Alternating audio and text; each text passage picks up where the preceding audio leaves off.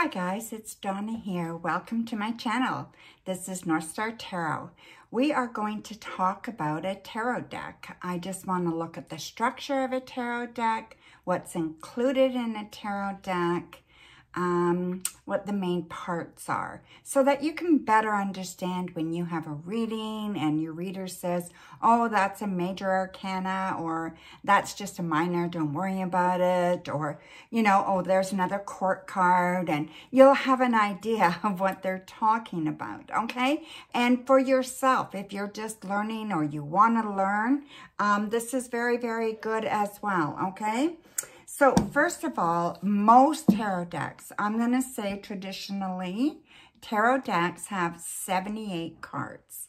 Um, there's 22 major arcanas and 56 minor arcanas. Yeah, 56 minor arcanas. So yeah, so the 22 major arcanas, I'll pull them out here. I have, um, this is the Light Seers deck. So here is the 22 major arcanas. Now, they are normally, um, often, let's say often, they are often written with Roman numerals at the bottom. This deck is not. This is just ordinary numbers, okay? Um, the first card is the Fool, and it is always zero. So it is a zero card. It is the start. It is the beginning. It is the end to the end. It is the beginning and the end. So always, always the first card is the Fool, the beginning. And then it goes on from there from 1 to uh, 21, which is the world, okay?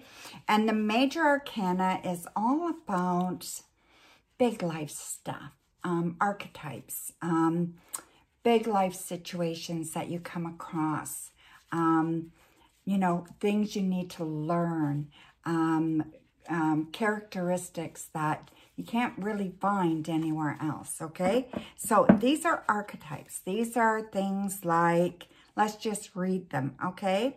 We have the Magician. Uh, then we have the Empress. Then we have the, um, I'm sorry, the High Priestess. Then the Empress. Then we have the Emperor. Uh, then we have the Hierophant, which is learning, right? Then we have the Lovers. Then we have the Chariot. Um, and then we have uh, Strength. And then we have the Hermit. Um, then we have the Wheel, you know um, and on and on. We have what, 22 cards of the major arcana, and they tap on all the archetypes, a lot of the big stuff that's going on in your life. If you get a few in a reading, they're even more impactful. If they're reversed, it'll mean something else for me. Um, I don't believe in opposites. Your reversals mean opposites. I believe that the reversals change the impact of the card, okay? So that's how I believe it. So yeah, so I'm not going to get into how to read cards right now. I just want to explain a tarot deck, okay? So anyway, that is the major arcana. Then we come to the minor arcana, and that's the 56 cards. So if you think of the Minor Arcana as a regular card deck, there are suits, okay?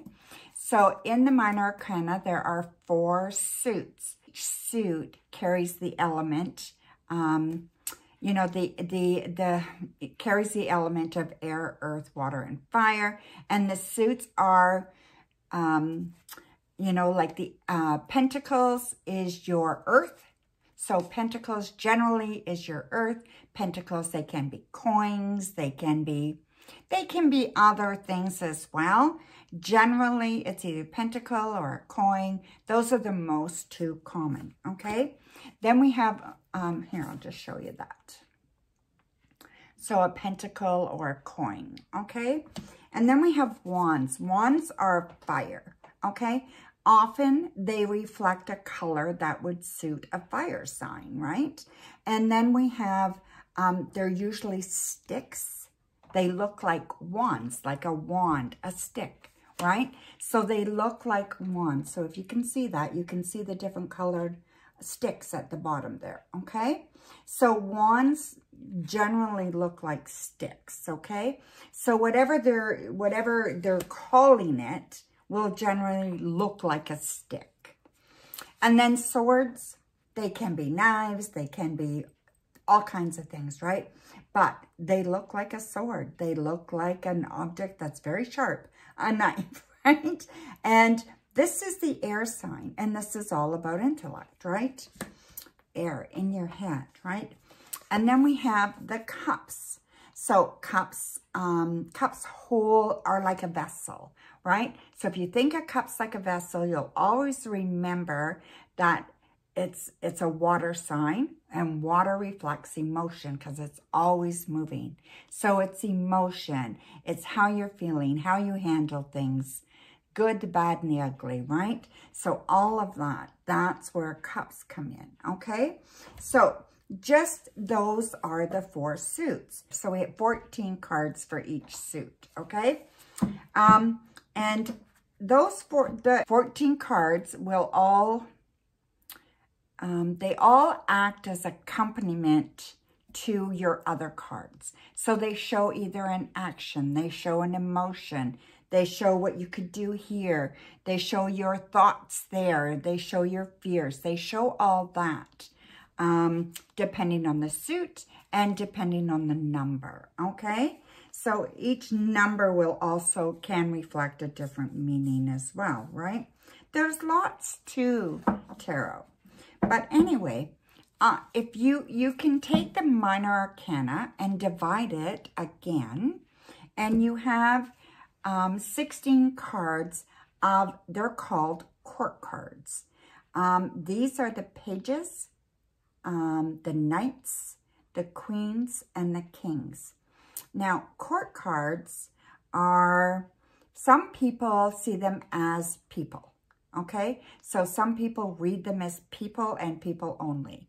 And I just read them as characteristics. I read them as um, whatever's going on with you at the time. Um, it could be somebody helping you. It could be a person. It could not be a person. It could just be the situation at large, okay? Um, and it shows the characteristic of what's going on, okay? So yeah, so these are strong cards, and a lot of people have a difficult time reading court cards, okay? I like court cards. They kind of give me, mm, I like it when they come up. Um, they kind of give me an idea of how the reading's going, where the person is, if they're in their own mind, if there's too many minds involved, you know, things like that, right? Um, how they're, um, and the page is generally, um, if you want to call them people or early life experience, okay? So pages are more innocent. So pages would be the innocence of a characteristic. So a characteristic that is not developed yet. Um, so say, um, they're very fearful of things they don't know because they haven't explored yet, right? But they have that enthusiasm. So pages are the beginnings of the court cards. And then we have the knights. The knights are like, I like to explain them as teenagers. You know, they like to go off and ride ride the ride the horizon and get into all kinds of trouble, right? and if they can, they can be a little reckless, right? But just think of them as teenagers in their behavior, you know, so the characteristic might be, say someone has um, fallen in love and, you know, at the beginning of the relationship, it hasn't been going on too long, or if it has, it's very, very passionate. Say it's the, say it's the, um, the Knight of Wands. So Knight of Wands is all about passion, fire energy, right? So Wands, fire energy. So that passion, that excitement, taking risks and willing to go out there and get anything and, you know, and just be that person that that person wants them to be.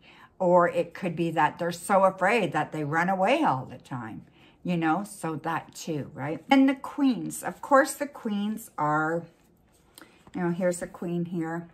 You know, the queens are um, the more mature, okay? Um, they make everything okay. They bring everything back into realm. You think of a mother kind of thing, right? They're going to bring everything back into play. Um, I'm not saying they're easy to deal with. Some queens are very, very difficult to deal with.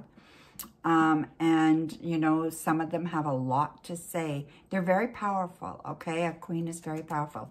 Not female energy, okay? Does not have to be female energy. And then a king. A king, again, is like the top, right? They've matured. They know where they're going. They know how to get what they want to get accomplished.